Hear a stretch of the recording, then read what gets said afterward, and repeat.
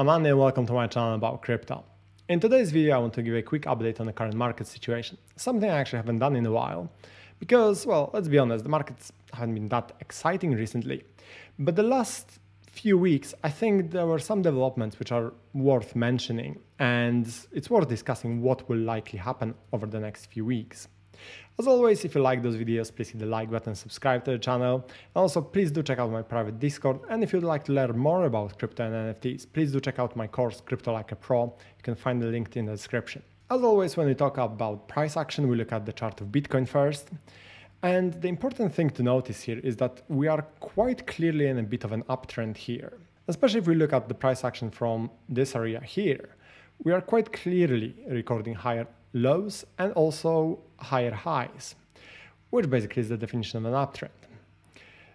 Also, it's worth noting that we are now above the Bitcoin's bear market support, support band, so 200 week SMA.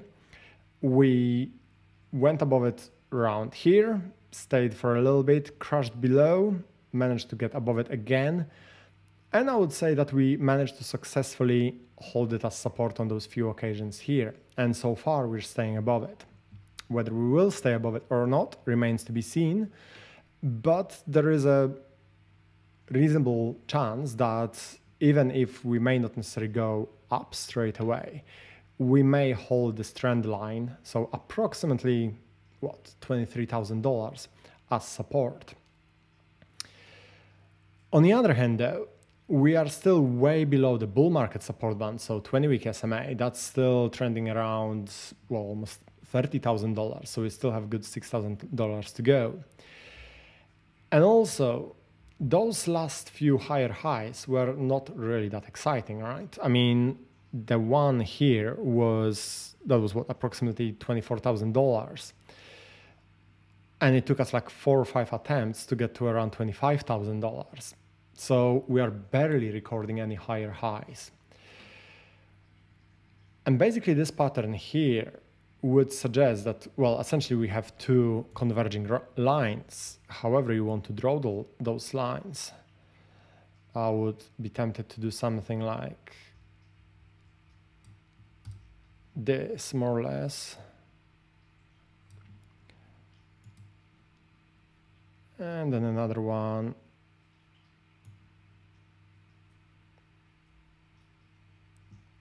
something like this. You could draw them slightly differently. That doesn't particularly matter how they go. But we quite clearly have this ascending wedge. And of course, we can see that quite soon within the next couple of weeks or so. These lines will pretty much meet. And the price then either has to go up or down from that point. I know it's not a great discovery that price will go up or down, but I would argue that there's pretty strong possibility that the price may break down. Not in the least because a lot of people are expecting it to happen, and it's likely to be sort of self-fulfilling prophecy. Also, if we look at the chart, we've seen something similar here. We were sort of trending up, more sideways, but still there was a little bit of an uptrend. And then we had this breakdown. Personally, I expect that we may trend up to about 26, 28K, so sort of upper range of that wedge I just uh, drawn a moment ago. And then we may have a bit of a correction. How much of a correction is hard to tell, whether we will crash to the bear market support band, so around 23K, hold it and then go up, or whether we'll break below it. And a lot of people will, a lot of people expect that we may actually revisit those levels of around 17K or 17.5K. Another possibility is that, of course, we, we go up and actually 17.5k a couple of months ago was the market bottom. And from now on we will be trending upwards probably quite slowly for a while but upwards nonetheless. Bottom line is it's pretty much impossible to predict it at the moment. And i would say that the best strategy is probably holding some cash on the sidelines but also dcaing into bitcoin and gradually increasing your position. Because well if we zoom out we are still solid two thirds down from the market top, right? Or from, all, from the all time high. It's quite fair to assume that Bitcoin will likely hit 100K or more in the next bull market run. Of course, it won't happen straight away, but eventually we will likely get there. And if that's the case, then well, that's an easy 4x, easy quote unquote, um, from the current price. So it's even if we crash to 17 or to 20k or whatever, well, this is not exactly a bad entry point. So I would say to play it safe, have some cash ready on the sidelines, don't go all in, but DCAing into Bitcoin is certainly not a bad idea at this point. What's probably more interesting is what ETH has been doing recently, because ETH's price action has been vastly outperforming Bitcoin over the last few weeks. And essentially, this massive move up is all to do with the upcoming merge. So the merge is something that used to be called ETH 2.0 in the past, and basically that's ETH moving from from the proof of work to the proof of stake. So essentially, Ethereum mainnet so the live part of the Ethereum network rather than the testnet, the part of the network which conducts all the transactions or where all the transactions are being conducted on, will merge with the Beacon chain proof of stake system. So basically, ETH will be 100% proof of stake from that point onwards.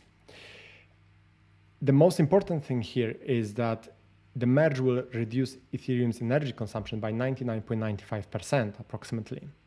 So the huge potential counter argument for implementing crypto, which is, well, it's not very environmentally friendly, will be that issue will be largely gone because it will be far, far, far more, far cleaner.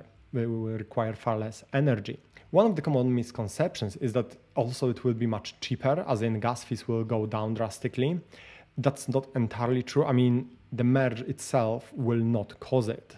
For the gas fees to go down, will need something called sharding. So essentially, that's the next step when there will be increased scalability of, of Ethereum blockchain. But that will come in the future. However, the merge is an integral part of this process.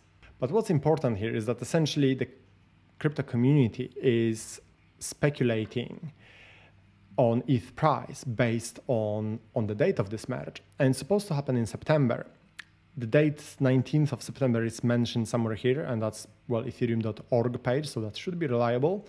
Um, can't find it right now, but it's definitely here somewhere. There you go, 19th of September 2022. On some other websites, I've seen potentially 15th or 16th of September, but basically we're looking at mid-September, potentially second half of September so relatively soon. And basically, this price action here, this massive spike, is speculation based on that event. Most likely, what we will see happen is price skyrocketing and then dumping shortly before that. So something similar to what happened with Cardano when Cardano mainnet was launched. And that was this massive spike here in September last year. So we had this massive move up. By the way, I don't expect ETH to go up this much in price to well to its all-time high of over three dollars, and then crashed straight away after that. I mean, actually, I'm pretty sure that the mainnet was somewhere here. I think it was 12th of September. So the all-time high was actually a few days, probably about a week or week and a half before that date. Then, of course, a lot of that downwards movement was to do with the current market situation and so on. But nonetheless, there was a significant pullback to, well, something like just above $2. If we say that that pullback was somewhere to this level, that's what $2.20 or something like that. So this is a classic example of buy the rumor, sell the news price action. And I think similar thing will happen with ETH. We will see that continued move up and then a sell off how high ETH will go and when it will crash. I would guess that it will crash somewhere in early September, very early September, maybe first week or so.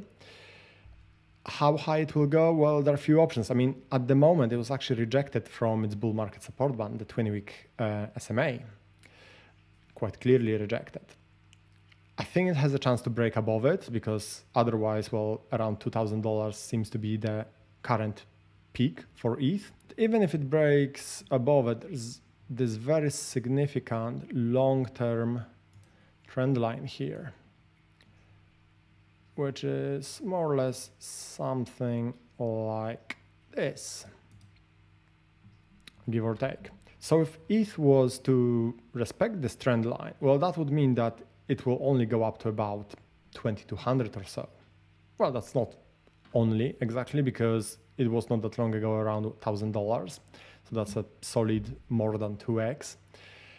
But I would definitely look at this level, at this trend line, as a potential peak of how well ETH may do before the, the merge. Of course, I may be completely wrong. There may be much more speculation and it may go higher. In such event, I would expect that the next resistance level will be somewhere around 25, 2600, basically when we had those support levels here, resistance here, bit of a support here, resistance here, and so on on multiple occasions around this period of time. This 25, 2600 uh, level is, is quite significant for ETH. So that would be the next target in my opinion. But in any case, I don't think this price action is very natural. I think it's driven largely by speculation because of that merge. I mean, I'm pretty much know this for a fact. I mean, there's no other reason for this price action. And of course, if there are any issues with the merge, if it's delayed or if there are any problems with this rollout, that will also impact price of ETH quite negatively in the in the short term. Of course, in the long term, I'm extremely bullish on ETH. There's no question about that. But in the short term, it's worth acknowledging that this is essentially what's driving this price action and it's not going to go forever. Just to finalize it, if you're not familiar with what will happen after the merge or what, what does it mean for your ETH holdings, well, Ethereum will remain Ethereum. There is no such thing as Ethereum 2.0, and there will be no airdrop. There, uh, there will be no new token or anything like that. So you have to be also careful in case if there are any scams or anything like that happening uh, closer to the date, because I'm pretty sure some people will try to take advantage of this situation. So just bear in mind that ETH remains ETH. From you as an end user, nothing really changes. It's exactly same ETH in your wallet. The transactions are conducted exactly the same. There is there is no difference. You don't have to change your tokens. You nothing really changes. It's just in the background, transactions are going to be verified in a different way, basically using proof of stake rather than proof of work system. But that's really the only thing. And on the surface, from, from the user's perspective, nothing really changes. So yeah, I think that's it for today. Just just a brief recap of what's happening with Bitcoin and ETH. Uh, I think we're remaining in very choppy waters over, overall. Any bullish price action at the moment, I'm not particularly convinced by it because on a macro scale, nothing really has changed. There's still war in Ukraine. Situation worldwide is still pretty crap. Yes, the inflation in, in the US may be peaked last month, but that remains to be seen because just one month of lower inflation is not exactly a guarantee that that we had the peak and and that's it.